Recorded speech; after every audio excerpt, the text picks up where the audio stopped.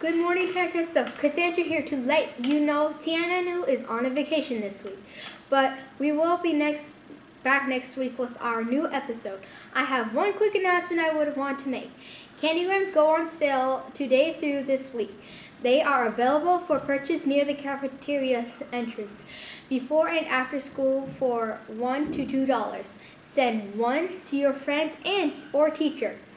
See you back here next week on your Tartesso News.